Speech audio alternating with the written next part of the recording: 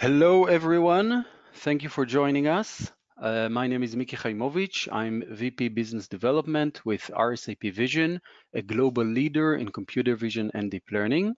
For this webinar, I will host Moshe Safran. Hey, Moshe. Hi, Miki. Uh, Moshe is not only our VP R&D, but he's also uh, relocating next month to the United States, to Silicon Valley, uh, to become the general manager of RSIP Vision USA. Uh, so thank you, Moshe, for finding the time to be with us today. No problem.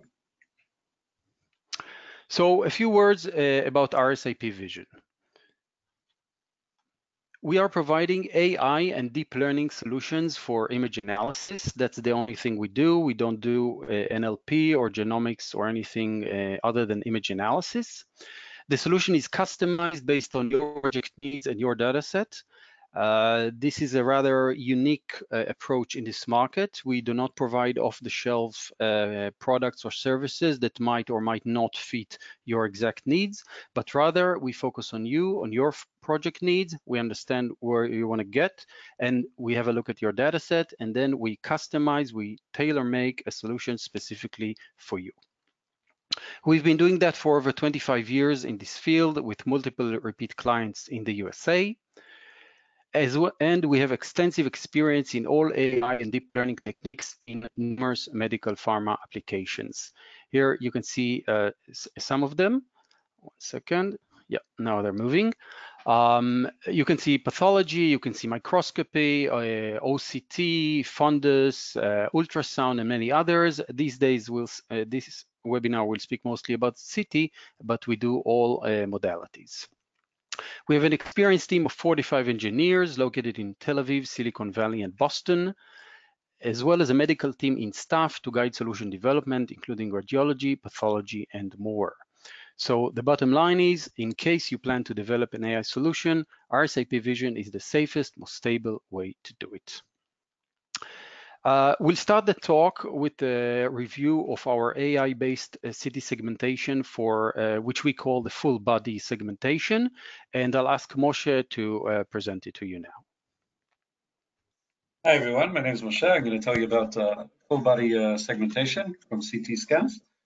So, yeah, so I love this slide. our head of medical imaging is always updating it and adding more and more organs Uh, uh, that uh, we can uh, segment from CT. So this is a good opportunity to talk technology, but also to talk uh, a bit about uh, uh, sort of the business aspects of this, just in a few words. So as Miki mentioned at the beginning, our we usually provide Mo Moshe, I, I, think, I think we lost you for a second. Can you repeat the last sentence? Hi, Miki. Can you hear me okay now? Yeah, excellent. Thank you. Yeah. So uh, as as you mentioned, Miki, uh, our DNA as a company really is uh, uh providing custom tailored uh, solutions. Uh, basically, at least our sort of a basic way of working with our clients is as professional services form, because the computer vision is a very wide, very varied field uh, especially in the medical domain. And each problem is uh, uh, special. Each uh, each device and each uh, specific needs called calls uh, calls for a specific solution with very special and specific issues for each kind of data. That said, what we've found over the course of, of the last two years is that although what I said now is still true, and it's true even after the deep learning revolution, even though everything's a neural network, it's still uh, not simple. Uh, Ron, our CEO, likes to say uh, that saying use neural networks is like saying use software. Anybody can write software, but uh, it doesn't mean that anybody could write uh, good software or effective software. Uh, that said, we we we started out with some uh, specific segmentation projects uh, for airways, which you can see in the uh, middle of the bottom row, and various other organs related to chest and to the lungs. Uh, and what we're finding more and more is a repeated need uh, in the market for CT segmentation, not only of airways or lung fissures, etc., uh, but uh, of a very wide variety of organs, ranging from uh, you know teeth uh, for dental applications, uh, hip and knee joints uh, uh, for orthopedic surgery, lesions, which are very important both in medical device applications, biopsies, and eventually lesion ablation as well, and also in diagnostic applications for pharma. Uh, coronary arteries, uh, which you can see over here.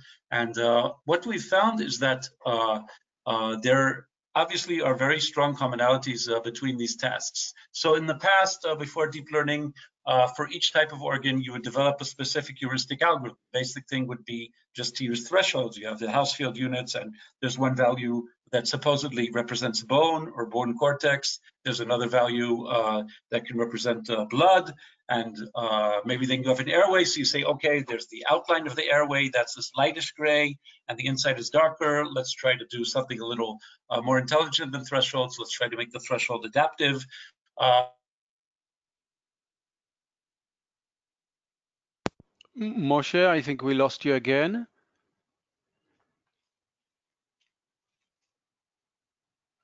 Hello, hello. Okay, I'm sure Moshe will uh, uh, come back to us in a second. Uh, in the meanwhile, uh, I can just tell you that really uh, there is nothing better than just seeing it. Uh, there is hardly any organ and any type of organ in this uh, in the body that we cannot segment using CT. As Moshe said, uh, once you do one and the second and the third, you become much better in that at, at that, and uh, we can just uh, provide more and more. Let's move to the next slide. Uh, this is the CT data scan. Okay, I know you all know it. I just want to show you, you know, the original, how it looks like before uh, uh, the uh, the segmentation. Uh, some of you know how to read it, some of you don't uh, know so well, but it doesn't matter. We can see that there's a lot of material uh, in there a lot of data okay it's quite complicated we're uh, uh, covering a significant part of the body and this is something that will prove very relevant to the benefits of AI segmentation as we move forward Here's another example. Uh, this example is of airways. Hello, Moshe? Yeah, guys, apologize for that. No problem. That's how it is. Uh, GoToWebinar. Uh, oh, sometimes fails us. Uh, okay, just uh, uh, I just I covered the the first slide with all the examples, and I showed the CT uh, data scan, and this is actually the first example of the airways. Um, what can we say about airways? Yeah, so so as, as I was uh, uh, as I think you heard before uh, my connection cut out. Uh, so uh, with the classical methods, really each type of segmentation was a project its, on its of its own. It was very labor intensive. Uh, it was not enough to use just thresholds. You need to do adaptive thresholds, and then you need to deal with all kinds of edge cases. And it became very uh, complicated and convoluted and involved algorithms. Uh, and uh, what we found, uh, uh, uh, what we found over, over the past uh, few years is that uh, uh, deep learning and architectures such as UNet, PSPNet, architectures such as that, let us think of the segmentation problem of all these segmentation problems as cousins of each other. So it's still not plug and play. You can't just stick your annotated data into the training system and get your model that's going to work right away. There are still specific issues uh, for different types of organs. Uh, so uh, uh for airways, uh, for instance, you need uh, to train the model and to augment the data in a way that will give you good results, both for the fine details and for the coarse parts of the tree, such as the trachea and the uh, the two main branches. Uh, surprisingly, sometimes the problems are in the uh, coarse uh, uh, features that are easier to find rather than the fine features that you need to find a, a good way to make elegant and not start stitching various algorithms together. but really, this domain of segmentation, we've been very happy to find that is is developing into a, a whole suite of uh, uh, functionalities uh, that, from our point of view, has actually become a product of our company. So we're still professional services for, firm. If you need to do, you know, registration or some very specific classification task, then it's it's a project. Um, and it's uh, excuse me, it's a tailor-made solution. Uh, but for this specific domain of CT segmentation, the technology is already uh, very mature. And uh, although it's not uh, entirely plug and play, it's uh, very related technologies that are useful over a wide variety of domains. So airway segmentation, as I said, or as I hinted before, is used in medical devices for lung biopsies to navigate a bronchoscope within the lungs, get to the correct uh, branch of the airway tree, uh, navigate uh, precisely to a lesion. And if you want to know where the lesion is, you need a, a segmentation of, of lesions and nodules from the CT scan. And that's just uh, one application. So if you have a dental application or orthopedic segmentation application, it's going to be completely different. And again, a related technology, you can find the lungs and the lobes of the lungs, which we see uh, in the uh, different colors uh, in the 3D view, uh, finding the different lobes and knowing where the separation between them is and where the fissures that separate them are also very important in the bronchoscopy uh, procedure because uh, once you're in one lobe, you cannot puncture the fissure. That's very dangerous for the patient. So the user needs to be informed at times uh, both where they are in the uh, uh, bronchial tree, as well as uh, getting an additional safety indication of where they're not allowed to go uh, with the scope. Yeah, so, uh, okay, in the next slide, we can see uh, blood vessels in chest CT and a tumor in chest CT, which is needed for navigation. And again, during bronchoscopy, you want to know where the blood vessels are, and there are other applications for this segmentation that are uh, completely unrelated uh, to the bronchoscopy uh, application. Uh, okay, so in the next slide, uh, there are lung tumors, and uh, the similar technology can be used for multiclass segmentation of brain tumors. And this is a diagnostic application. This is to measure the volume of the tumor, the volume of the surrounding edema, etc. so it's really applying this to many different use cases uh, both for medical devices as well as for diagnostic applications. Yeah, uh, th this uh, uh naively, this uh, whitish area in the view uh, we can see on the middle slice shown in the CT. I know by an untrained eye might also be mistaken for an oddly shaped tumor, but this is actually a brain hemorrhage. it has different characteristics and different appearance. so again, CTA segmentation technology uh, uh, of similar type can be applied for uh, application of follow-up for hemorrhage patients. they need multiple scans to be done within relatively short periods of time and uh, the quantification here is very important. You need a way to measure the exact volume uh, of the uh, hemorrhage and of the surrounding artifacts that are uh, results of this hemorrhage uh, and to follow up over time in order to gauge the patient's responses to various treatments and to help the doctor choose uh, the treatment. And automating the segmentation is obviously saving a lot of time uh, for radiologists and also uh, can achieve more accurate results. These are just examples of uh, 3D models. Uh, you have both the hemorrhage as well as the ventricles themselves, as well as blood in the ventricles, uh, which is a, a different class. Uh, this is an example of bone segmentation of the knee joint. Uh, so here, uh, unlike for the airway tree, you don't only need to separate the object from the background within the CT scan to go from a, a, volumetric data that's in gray levels to a 3D model. You also need to separate the bones from each other.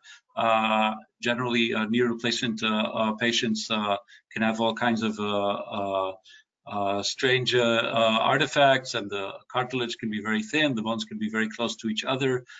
so you need what's called instance segmentation. It's not enough to do semantic segmentation. This is a different example of a hip joint, and uh, we've expanded this already to uh, many other orthopedic applications, uh, such as uh, uh, spine vertebra and uh, teeth, which are also a cousin of this. again, if you just use a simple threshold and simple heuristics afterwards to count the teeth and try to separate them, then the results will not be nearly as robust. we can see in the lower right the foot, all the foot bones as well, separated from each other. and again, uh, the machine learning technologies uh, let you get a much, much more robust uh, solution. Obviously, if you see the uh, the little bones in the ankle joint, then uh, the separation is, I mean, we can see it by eye because our visual system knows how to generalize and knows how to do all kinds of non-trivial analyses of the data that it's seeing. but if you just do some sort of edge detection or even you know mathematical models for some sheet that's separating the bones, it's still not going to be nearly as robust as the, the machine learning based technologies which are trained on the proper uh, data sets. This is a different example. This is related orthopedic uh, uh, application to detect landmarks in the hip joint and the knee joint. Uh, this actually is already not part of the segmentation product, so to speak, um, but uh, it's uh, added on on top of the uh, bone segmentation. I think I discussed this one in a different webinar. Excellent. Thank you very much, Moshe, for this review. Um, so, so far we've shown you uh, uh, CT segmentation of, of different parts of the body. Uh, as Moshe said, you know, we've done many of them and we can do more because as the, uh, the more we deal with it, the better uh, we get. Uh, I would like to do two things actually. The first one is to use this opportunity to encourage you to send us questions uh, we have a Q&A session at the end of the uh, of the talk, and we'll be happy to answer uh, all of your questions. So if there's anything that you would like to know based on what uh, we discussed so far, please do send us your question, and we'll be happy to answer them. The second one is that I'd like to speak a little bit about the benefits of AI-based CT segmentation, namely the benefits for you as providers of medical devices and the benefits to your users okay, once they have an AI solution uh, integrated into the uh, medical device. So uh, generally speaking, we've talked about segmentation and we saw a few examples of classification. And as Moshe mentioned uh, during uh, the previous slides, uh, there is also a significant uh, potential for quantification. So when we're talking about AI solutions, usually we'll uh, have these three uh, in attendance quantification specifically basically means that once we've segmented something and we classified it, uh, we now put a number on it. And the number could vary. It depends on the medical device. It depends on the scenario.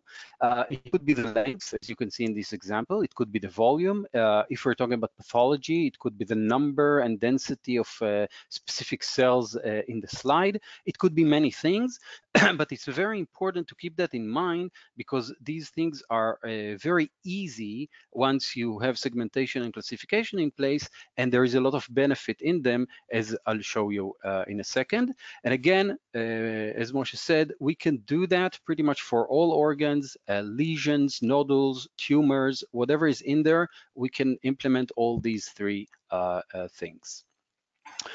When I speak about AI benefits, uh, again, they change between the different scenarios. Okay, some of them are scenario specific, but oftentimes uh, there would be uh, the, the main three, okay, or the ones that I can pr pretty much guarantee are uh, saving time, reducing the number of errors, and improving clinical insights. So uh, we've, we've discussed that uh, at length at one of our previous uh, webinars, but I would like to uh, run through it uh, uh quickly and, uh, and tell you a little bit uh, about it.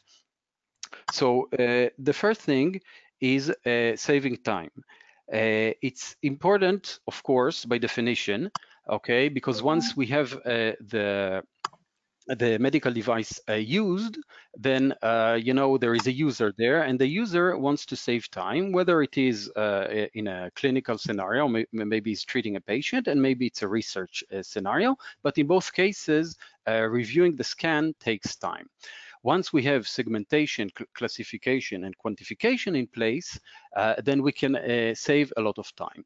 For instance, if you look at these uh, images of CT, then you can see, or maybe you can see, because it's very small, there is a small red dot somewhere in there. Now, think about it from the user's point of view, that he needs to uh, scan through or this uh, uh, entire chest in order to find those small things that are of interest to him. let's assume these are uh, tumors in this uh, scenario. Okay, obviously it takes time. But once, as we can see on the right, we have segmentation and classification in place, then it becomes much easier. It becomes a map for the user to use. He can see exactly what's there. He can see where it is. Uh, the red ones are the tumors in this case, which are of importance to him. The uh, green ones are nodules, which are not so important to him. So you, you can see he can benefit from the classification. And the, the blue is just water in the lungs, which he can disregard at this stage. Okay, so once I give him this map, obviously I save a lot of time for him. Another benefit we've mentioned is the potential for reducing the number of errors.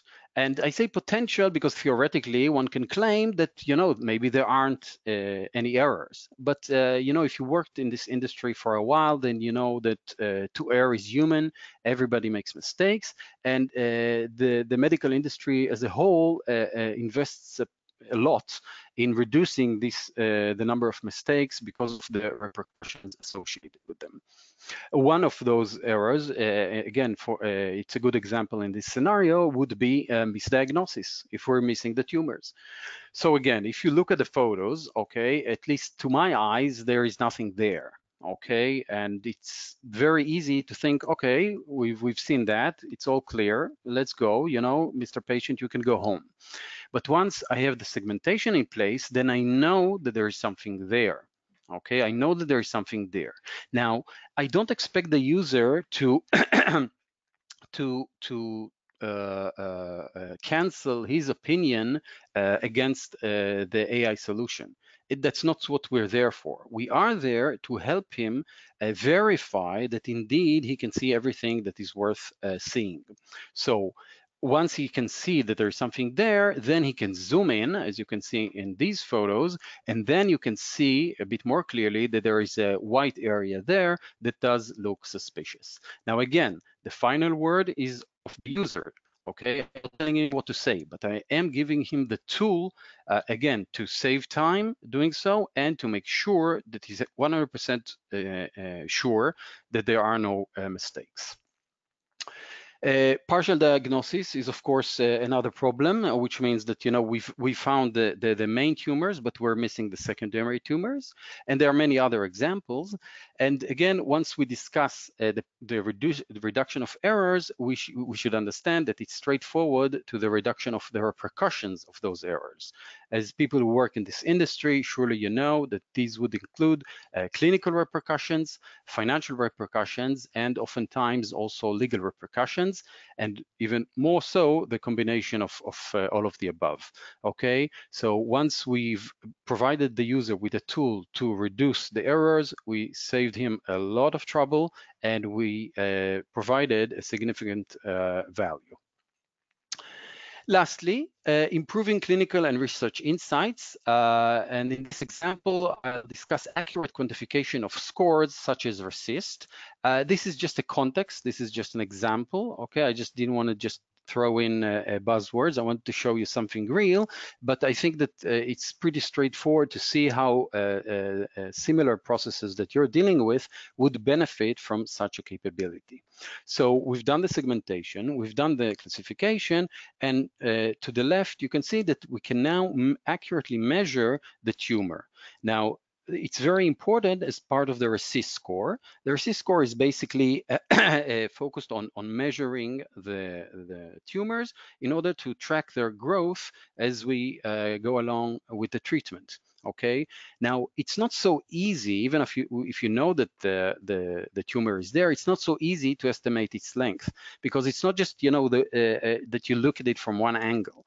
What they define as length is the the longest line that you can run through the tumor in any angle okay so that would take time and that would oftentimes end up with an inaccurate estimation of the length but once you have an AI solution in place, then the the quantification is very easy. It's with uh, with one click you can get the exact length of that uh, tumor, in this case 62.14 millimeters, okay, which is of course of uh, clinical value, and it saves a lot of time To the right, you can see that, that these measurements need to, to be taken uh, throughout the treatment uh, period, and sometimes there are uh, there is more than one tumor. So if you calculate the numbers, you can see a significant uh, difference uh, and a significant value both in time saving and in a clinical insight. It's just, uh, you know, you know better what's really happening with the patient. But it's not only the things that, that they are required to do, okay? RECIST tells you you need to measure the length. Uh, it doesn't tell you that you need to measure the volume. However, there is evidence in research that tumor volume reduction rate is superior to RECIST for predicting the pathological response of rectal cancer. Okay, so that's great. It means that even if I'm not obligated to measure it, I would like to measure it in order to uh, know more about the patient. That's wonderful. But have a look at these things. Okay, these are tumors. Now, let's say I, I, I, understand the, the importance of calculating the volume. How do you calculate accurately the volume of something that looks like that? Honestly, you can't. Uh, these are not spheres. These are not uh, perfectly shaped boxes. These are strange looking creatures with all kinds of spines and spikes and protrusions. And to, to say that you can accurately uh, measure the volume uh, just by you know looking at it is uh, a bit uh, out of place. Uh, so if I didn't have an AI solution, there wasn't an, a lot I could do with this recommendation of, you know, measure the volume.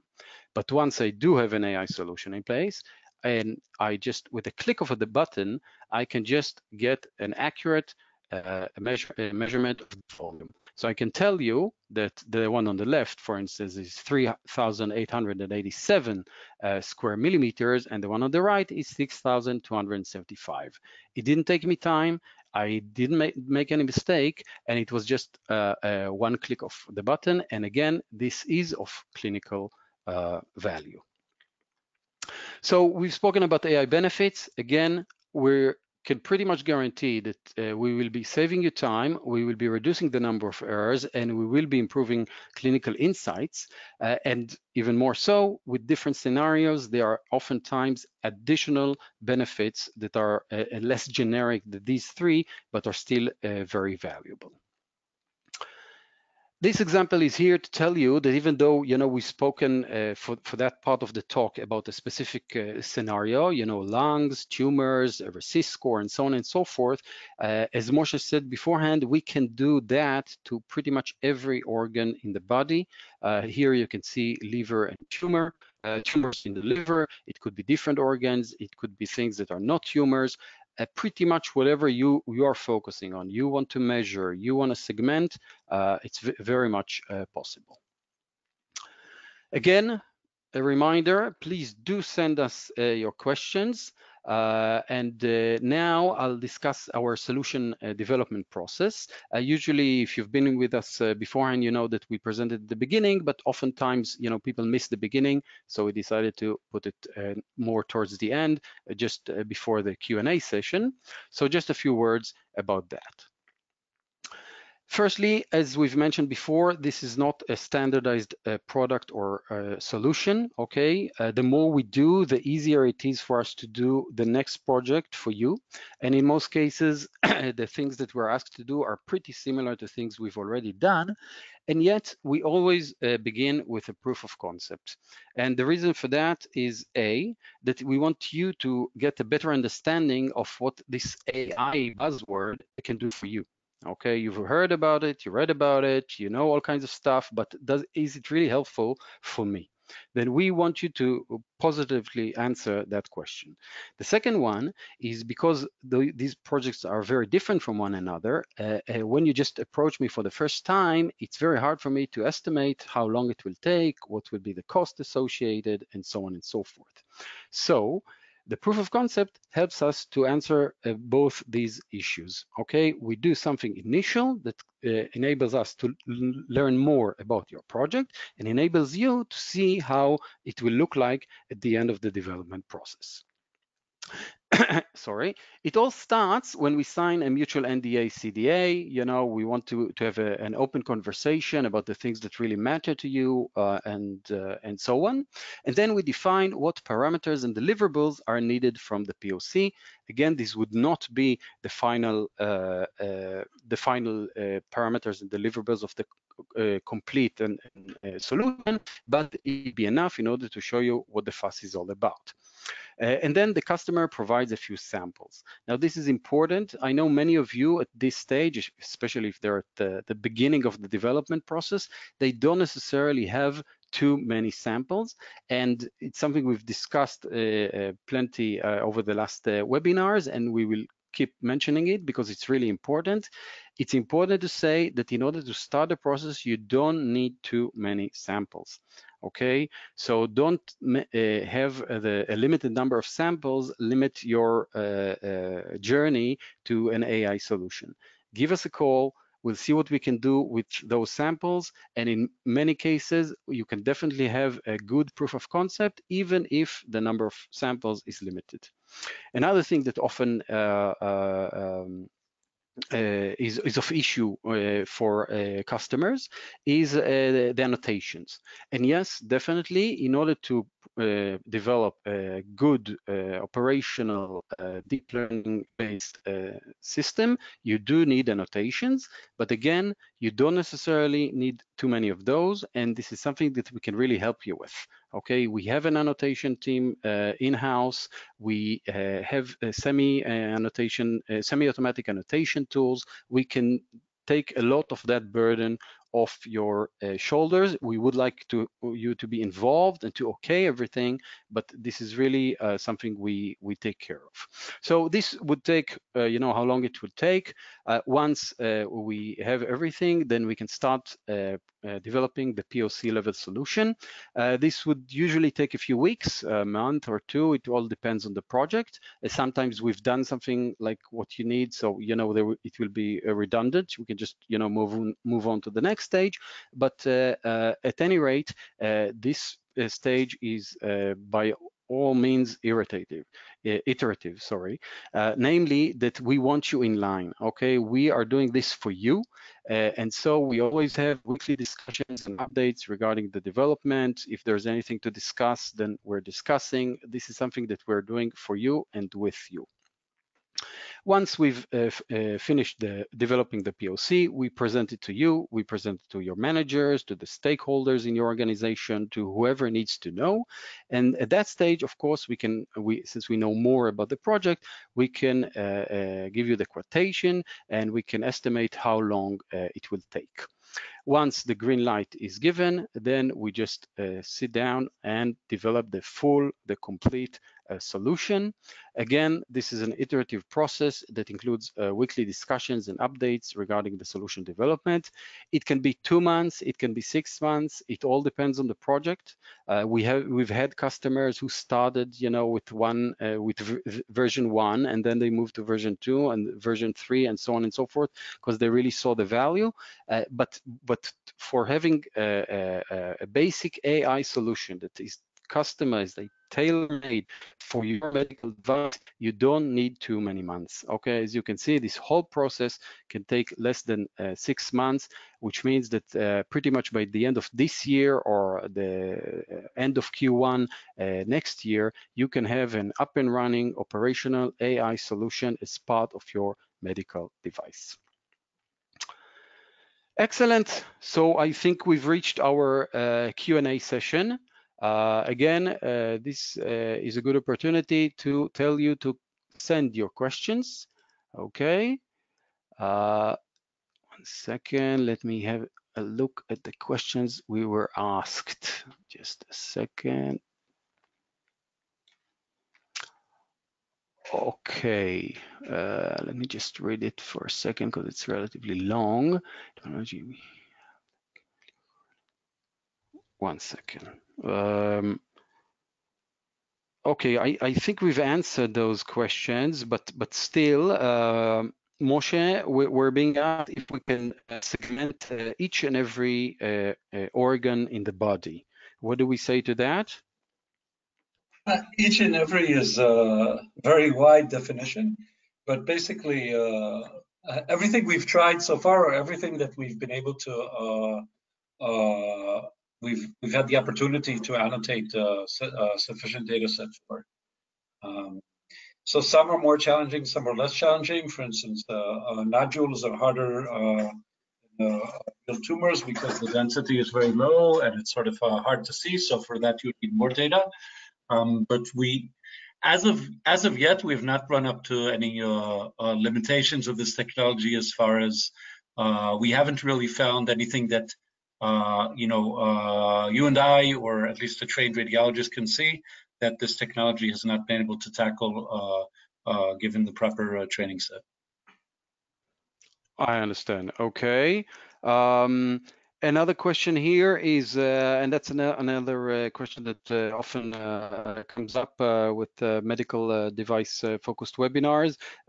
do we need an FDA approval for our AI solutions? In general, yes. In general, when our client uh, integrates their solution into a medical device or into some uh, diagnostic workflow, they're going to need uh, FDA approval. Uh, exactly what they need will very much depend on the application. Uh, uh, medical device, you know, used in a surgical procedure or you know, semi-invasive type of procedure needs one level of certification and diagnostic tool uh, for a clinical setting also needs a very high level of certification. Uh, if you're using a diagnostic tool in a research setting, you know, or, uh, or something like that, you may need a, a low level of certification. But there are, in general, there's always going to be uh, some uh, regulatory uh, approval that's going to be needed, and we support that in terms of doing all the statistics and the experiments and the validation work and reporting on it in a very organized manner. Uh, thank you, Moshe. I'll just add to that uh, to clarify that uh, uh, the FDA approval is not given to our solution as a standalone. Okay, uh, it is considered part of the medical device and it goes through the process as part of the medical device. So in this sense, it's not like we need to prove to the FDA that, uh, you know, uh, the AI solution is perfect or uh, that, uh, you know, we're, we're, we're dodging uh, the, the, the human beings in favor of the machine. Okay, this is not what we're talking about. Uh, everybody understands that this is something that is supposed to help the user. It doesn't replace the user, and this also influences the way the FDA deals with that. So, you know, if you've heard all kinds of important point. again, Sorry, yeah, important. I just said it's an important point. Sorry. Yeah because uh, if you've heard all kinds of things about you know issues that Google are having with their autonomous car and all kinds of things like that, this is not what we do. Okay, we're not uh, robotizing the world. We're providing people with uh, smart tools to help them, uh, and the FDI, FDA understands that. Okay, so we've had uh, AI solutions run through the FDA process without any uh, particular problem. Um, yeah. So, like even, even if it's fully automated and uh, you never uh, really need to intervene uh, because it, it, works automatically, you still you don't present it as you know from the automotive world. You wouldn't present it as a quote unquote level five type thing that's driving itself. You'd say, okay, this is an automated tool, and then we have a user looking at this result and approving it.